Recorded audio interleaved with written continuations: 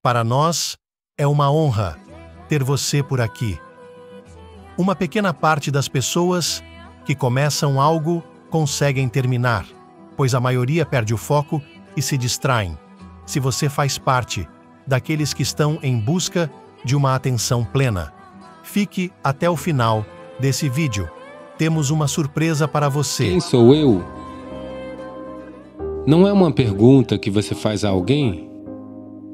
É uma pergunta que você faz a si mesmo? Você não saber quem você é, isso é um problema pequeno? Se esta pergunta estiver genuinamente queimando dentro de você, então você vem.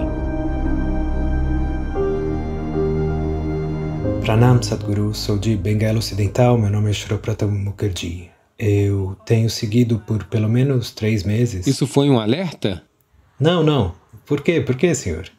Eu tenho seguido nos últimos meses e tenho assistido seus vídeos e literalmente posso dizer que sou seu fã.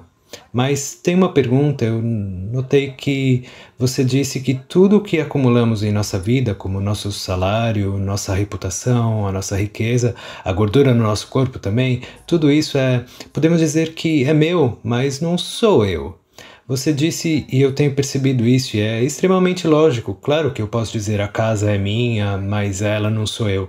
Posso dizer que o corpo é meu, mas ele não sou eu. Então, o que sou eu? Então, o que sou eu? Se eu liberar tudo o que eu acumulei, se eu liberar seja o que for, então o que eu sou? O que é a minha existência? É isso que eu quero saber. Ah, por que você está me perguntando?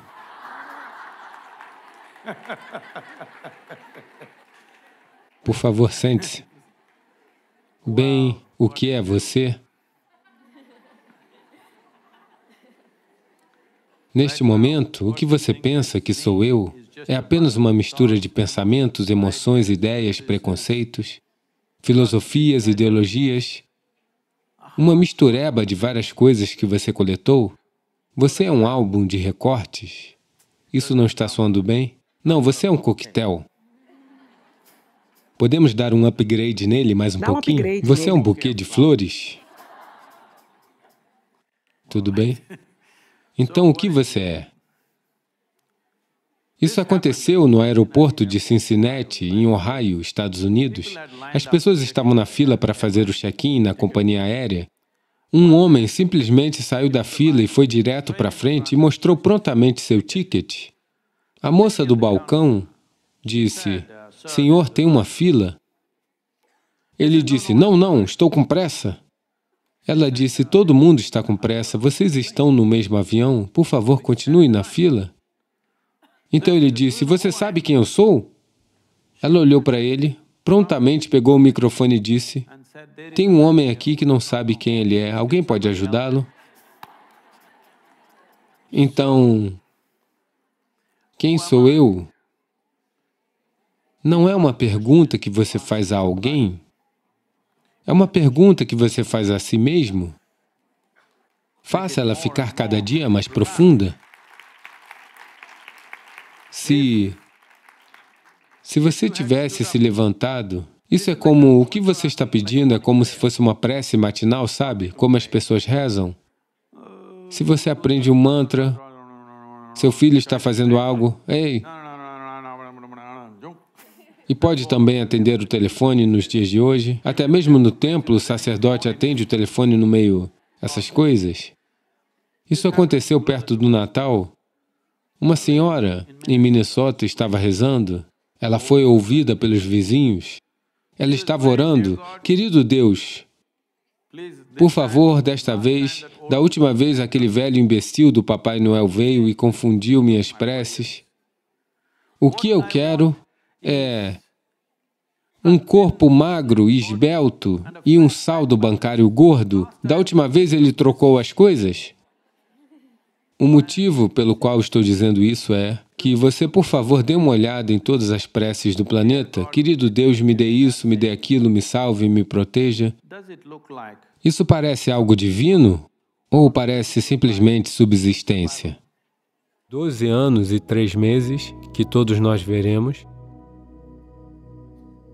Os outros são bem mais curtos. Existem ciclos de três anos, ciclos de 18 meses, 16 meses, existem outros tipos de ciclos, todos esses ciclos. Dependendo de quão inconsciente você está, quão desestabilizado você está, quão desfocado você está, você se torna acessível a esses ciclos. Se você estiver completamente disperso, você se torna acessível ao ciclo menor. Se você estiver um pouco focado, você se torna acessível aos ciclos mais longos. Mas todo mundo está sujeito a esses ciclos. Esses ciclos podem significar uma amarra, ou esses ciclos também podem significar transcendência, que de um ciclo de vida a outro você transcende ou você repete o mesmo ciclo. Isso depende de quem você é. Subsistência terceirizada Para sobreviver neste planeta, você só precisa de quatro membros e algumas células cerebrais que funcionem. Então agora, Sadhguru, tudo isso está indo bem, mas quero saber quem eu sou.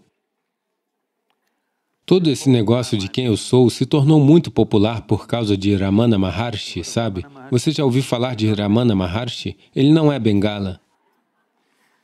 Então, Ramana disse, quem sou eu? E se sentou lá.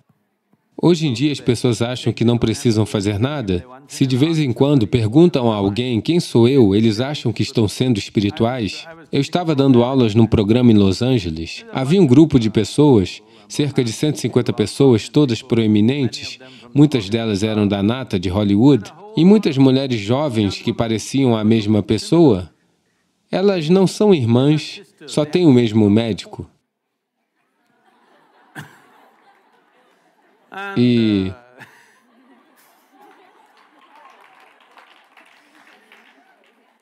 E então um deles diz, Sadhguru, eu estava apenas ensinando para eles uma prática simples de 21 minutos. Por quê? Para que você se volte para dentro de si mesmo, porque da maneira que você está fazendo essa pergunta, você não vai encontrar nada. Se eu disser que você é um Atman, Paramatman, coisas sem sentido, aonde isso levará? Só mais vocabulário?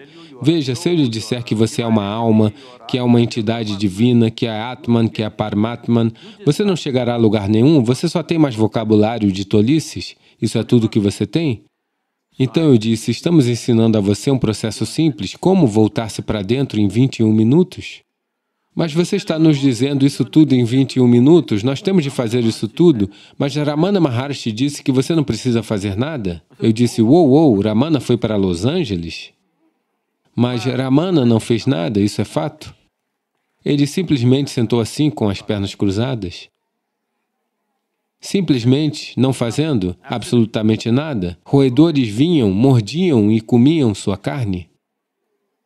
Ela infeccionava, as feridas ficavam infectadas com vermes e ele simplesmente ficava sentado sem fazer nada. Se você puder fazer esse tipo de ficar fazendo nada, imediatamente haverá uma resposta, certo? Mas na Califórnia agora eles fazem assim, se um mosquito picar, eles vão ligar para o 190? Sim, é assim que funciona. Nesse estado você não pergunta, então agora mesmo se essa é uma questão existencial, não é uma questão pequena, você não sabe quem você é, isso é um problema pequeno? É um problema fundamental, não é? E você está se levantando e se apresentando de onde você veio de Bengala e tudo mais, e agora está fazendo a pergunta. A pergunta que ainda não amadureceu? Se você ficasse de pé e não pudesse perguntar e as lágrimas rolassem, eu teria respondido a essa pergunta de forma completamente diferente. Mas agora é uma brincadeira, então estou brincando com você, tudo bem? A questão está lá, e é bom que a questão esteja, mas a pergunta precisa ser afiada para aprofundar. Ainda não tem intensidade suficiente para aprofundar qualquer coisa. No momento é uma pergunta casual, então, agora mesmo, posso lhe dizer uma coisa, quem você é? Mas isso não faz parte da sua experiência. Se eu lhe disser algo que não faz parte da sua experiência, o que você pode fazer? Você pode acreditar ou não acreditar nisso? Se você acreditar, não estará mais perto disso? Se não acreditar, não estará mais perto disso? Se você acreditar em mim, pode ir e contar alguma história fantasiosa e positiva? Se você não acreditar em mim, pode ir e contar alguma história negativa a meu respeito? Mas você não se moveu nem um centímetro, não é mesmo? Portanto, se você genuinamente, se essa pergunta está ardendo dentro de você, se esta noite essa pergunta incomodar tanto que você não consegue dormir, não consegue sentar, não consegue ficar de pé, se isso incomodar assim, então venha. Eu lhe darei outra coisa, algo completamente diferente. Quando tantas pessoas a diferença entre astrologia e espiritualidade é apenas isso? Esse é um assunto impopular que eu vou abordar. A astrologia está tentando lhe dizer como esses ciclos lhe prendem.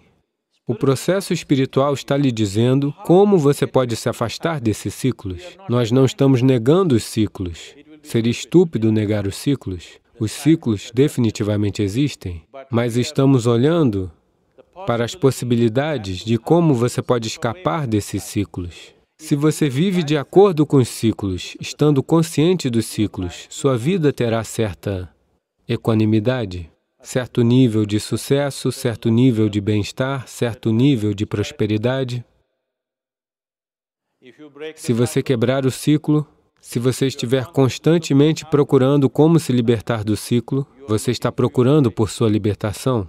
Você está buscando apenas bem-estar ou está em busca da libertação? Essa é a questão. Você deve viver de acordo com isso. Então, agora mesmo, se sua vida está andando em ciclos, repetitividade, que você está repetidamente indo para Irutupalam, você entende que não vai chegar a lugar algum assim? É hora de mudar o padrão. Agora eu quero que você observe. Isso está acontecendo mensalmente? Tem certeza que para você não é mensal? Está acontecendo uma vez a cada três meses? Está acontecendo uma vez a cada nove meses? Isso está acontecendo uma vez a cada 16 a 18 meses? Isso está acontecendo uma vez a cada três a três anos e três meses? Isso está acontecendo uma vez a cada 12 anos. Eu quero que você perceba isso. Agora não comece a imaginar todo tipo de coisas, mas está acontecendo, você entende? Está simplesmente acontecendo, quer você seja capaz de perceber isso ou não, está acontecendo. Não está acontecendo apenas com suas situações mentais e emocionais. Se você estiver consciente, até as situações físicas à sua volta se repetirão.